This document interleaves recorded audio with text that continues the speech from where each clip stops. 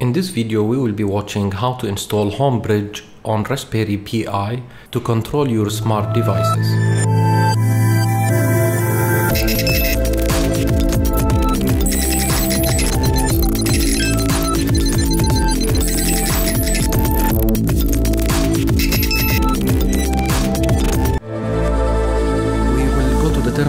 To do the update and upgrade on Linux. I believe most of you guys know how to do it. You can follow what's on screen right now to do the update and upgrade at the same time.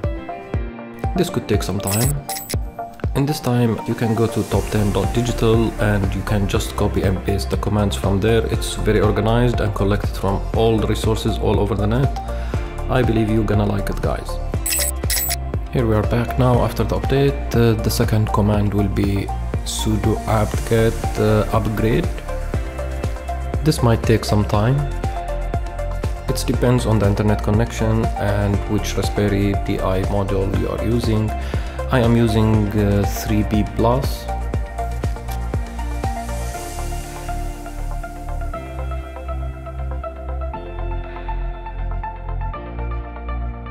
After both update and upgrade finish, let's start installing Homebridge.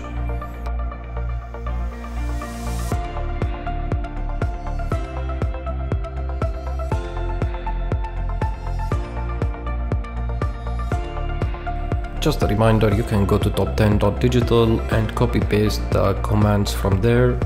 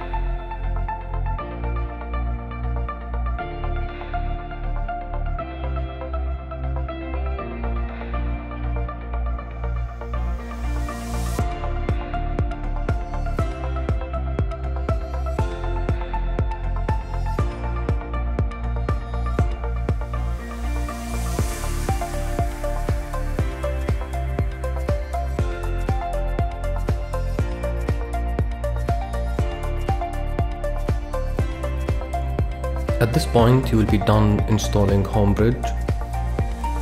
You will see the code on the screen, this one is for Homebridge to add it inside HomeKit. In the next video we will be seeing how to configure it and add the config file, plus we will see how we can manage it totally through the web interface.